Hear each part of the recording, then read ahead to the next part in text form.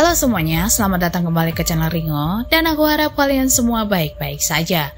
Di video kali ini kita akan membahas kasus yang terjadi pada tahun 1990 yang dialami oleh Jennifer yang berusia 8 tahun yang baru saja menyelesaikan kelas 2 sekolah dasar.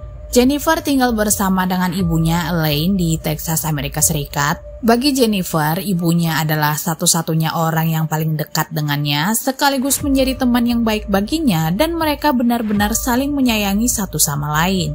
Orang-orang di sekitarnya menggambarkan Jennifer sebagai anak yang periang, dia suka berenang, bernyanyi, dan karena mereka hanya tinggal berdua di rumah itu, jadi biasanya Jennifer akan tidur di tempat tidur yang sama dengan ibunya.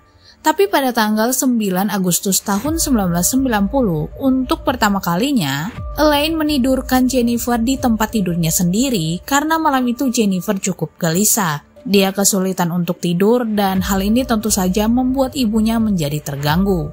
Keesokan paginya saat ibunya bangun, dia pergi ke kamar putrinya untuk membangunkan Jennifer, tapi sayangnya Jennifer tidak ada di dalam kamar dan setelah dicek, Jennifer juga ternyata tidak ada di dalam rumah, jadi dengan cepat Elaine menelpon polisi setelah dia melihat jendela kamar tidur Jennifer terbuka dan ini adalah sesuatu yang tidak biasa karena dia tahu Jennifer tidak akan membuka jendelanya sendiri.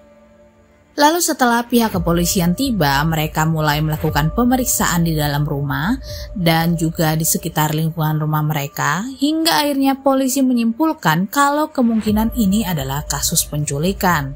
Ibu Jennifer kemudian bilang kalau malam itu setelah Jennifer pergi ke kamarnya, dia tidak melihat ada yang mencurigakan, dia tidak mendengar apa-apa, bahkan dia tidak mendengar ada suara teriakan apa pun. Elaine juga mengungkapkan pada polisi kalau dia hanya memiliki Jennifer dan dia benar-benar ingin putrinya dapat kembali pulang. Pihak kepolisian kemudian melanjutkan pencarian mereka dibantu oleh para relawan. Mereka bekerja dengan sangat keras. Mereka pergi dari satu gedung apartemen ke apartemen lainnya, menanyakan orang-orang yang ada di sana apakah mereka melihat atau mendengar sesuatu malam itu. Tapi sayangnya tidak ada orang yang melihat atau mendengar sesuatu yang mencurigakan malam itu karena memang posisinya sudah tengah malam jadi orang-orang sudah tidur. Sementara itu ada beberapa orang polisi yang melakukan penyelidikan di dalam kamar Jennifer untuk melihat apakah ada sidik jari dari si pelaku. Tapi sayangnya mereka tidak menemukan petunjuk apa pun hingga pada jam 6 lewat 30 sore tepatnya pada tanggal 10 Agustus tahun 1990 polisi akhirnya mendapat panggilan telepon dari beberapa orang anak yang ada di lapangan yang tidak jauh dari rumah Jennifer. Mereka bilang kalau mereka telah menemukan tubuh seseorang pada saat mereka sedang bermain di lapangan. Pihak kepolisian kemudian dengan cepat pergi ke lapangan tersebut di mana saat mereka tiba, mereka menemukan tubuh seorang anak perempuan yang diketahui adalah Jennifer.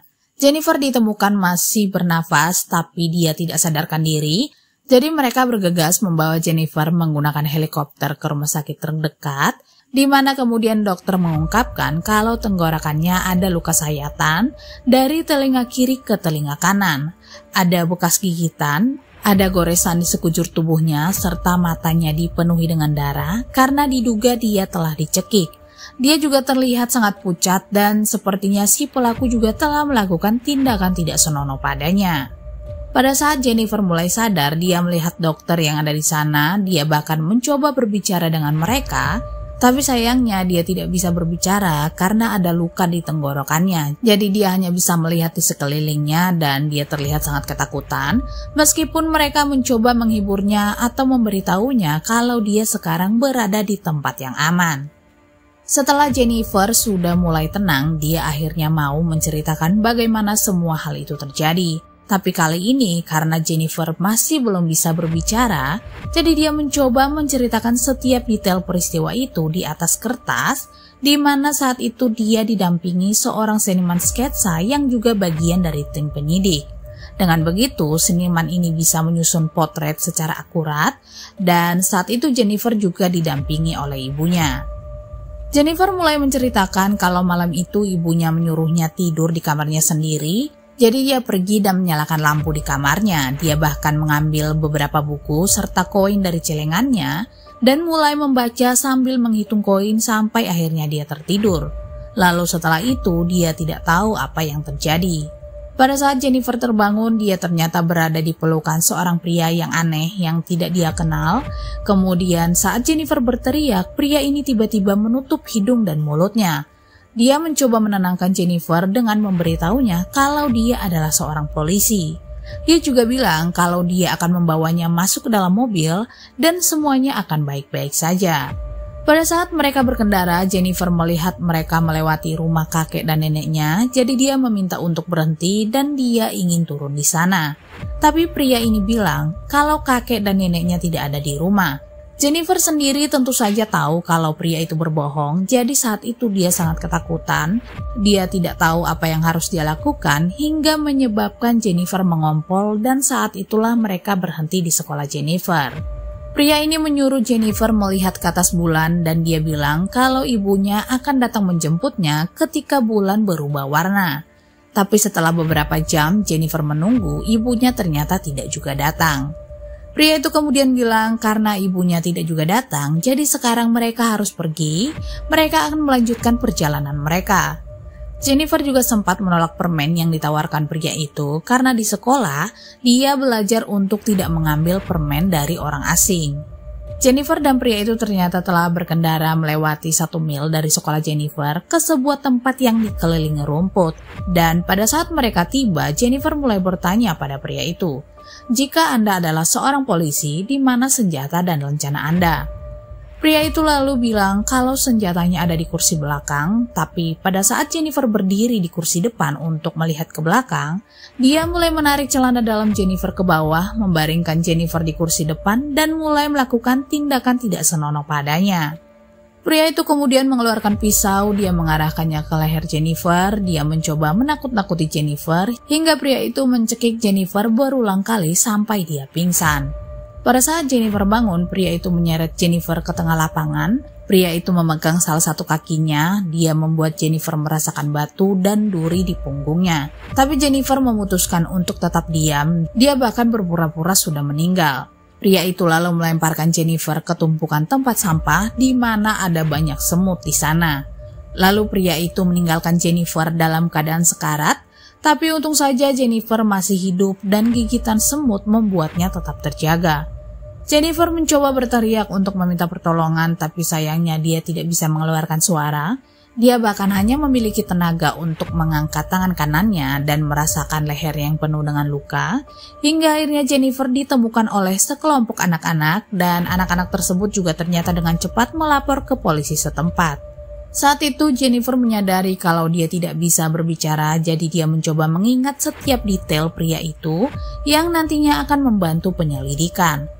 Jennifer mengungkapkan pada tim penyidik kalau malam itu pria tersebut menggunakan kaos berwarna pink dan pakaian dalam putih dengan gambar mawar berwarna biru.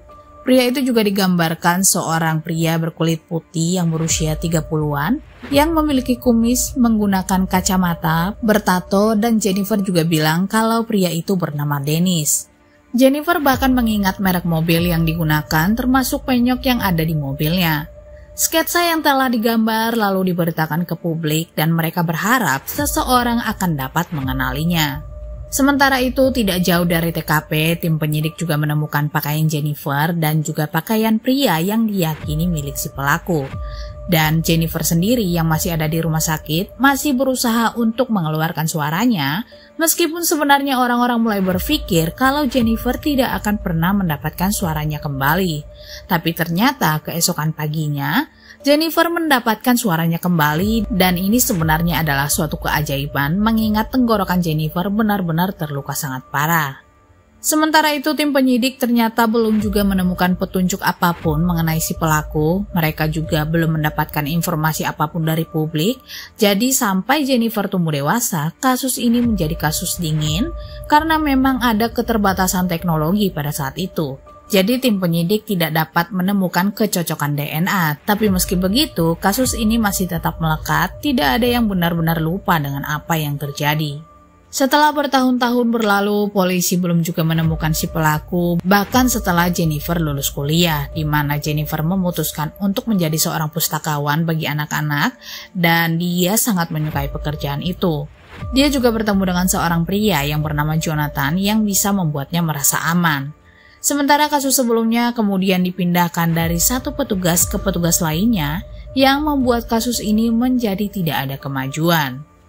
Keluarga Jennifer sendiri juga ternyata tidak pernah membicarakan hal ini karena sebelumnya mereka pernah mengalami peristiwa yang traumatis dan telah ditemukan dalam keadaan mengerikan. Tapi berbeda dengan Jennifer, dia justru ingin menceritakan setiap detail atau hal sekecil apa pun untuk membantu polisi menangkap pria itu.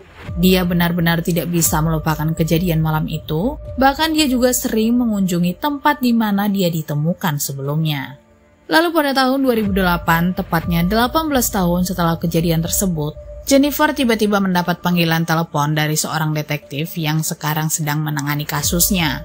Detektif itu bilang kalau mereka telah mengirimkan pakaian yang sebelumnya ditemukan untuk dilakukan tes DNA, dan DNA yang ada pada barang bukti memiliki kecocokan dengan seorang pria yang bernama Dennis Bradford dan nama pria itu ternyata sama dengan nama yang diberikan Jennifer 18 tahun sebelumnya. Pihak kepolisian juga akhirnya menemukan kalau Dennis saat itu adalah seorang pria berusia 39 tahun yang tinggal di Arkansas, Amerika Serikat dan baru saja dibebaskan dari penjara setelah menghabiskan 4 tahun dari hukuman 12 tahun penjara.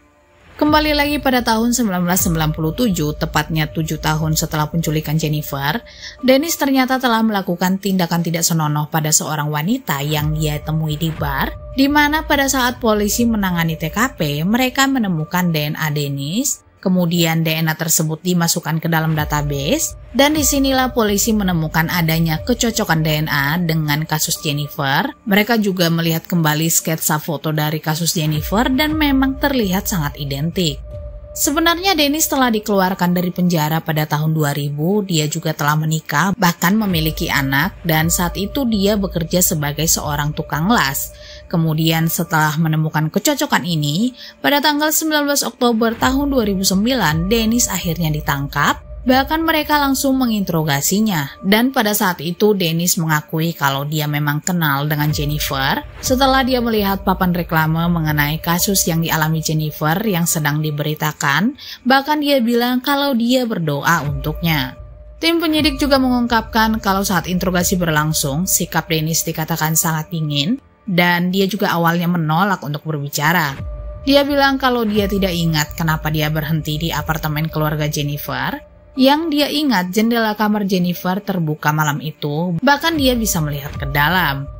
Tim penyidik ternyata menyadari kalau Dennis belum juga mengakui semua perbuatannya, jadi mereka kembali mencoba berbicara dengan Dennis. Tim penyidik bilang kalau mereka ingin mendengar keseluruhan cerita yang terjadi pada malam itu, dan mereka benar-benar ingin Jennifer bisa mendapatkan keadilan. Dan benar saja, Dennis akhirnya mengakui semua perbuatannya tentang malam itu.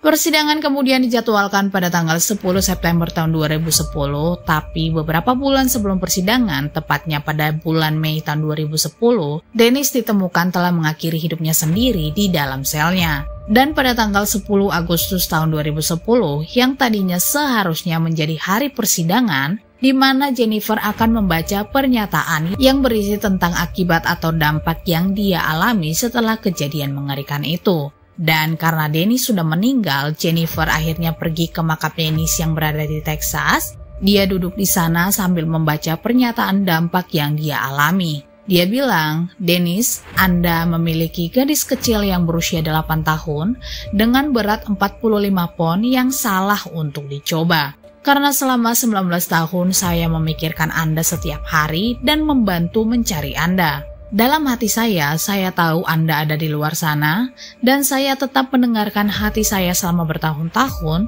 dan tidak menyerah untuk menemukan Anda, dan memang ternyata saya benar. Kemudian pada bulan Mei tahun 2014, Jennifer akhirnya menikah dengan seorang pria yang bernama Jonathan. Pasangan ini juga akhirnya memiliki seorang anak perempuan yang diberi nama Jenna dan seorang putra yang diberi nama Jonah. Setelah Jennifer melalui fertilisasi in vitro, karena organ Jennifer terlalu rusak akibat kejadian malam itu, jadi dia cukup kesulitan untuk memiliki bayi tanpa bantuan. Anyway, terima kasih banyak telah menonton video ini, dan aku harap kalian menyukainya, dan sampai jumpa di video selanjutnya.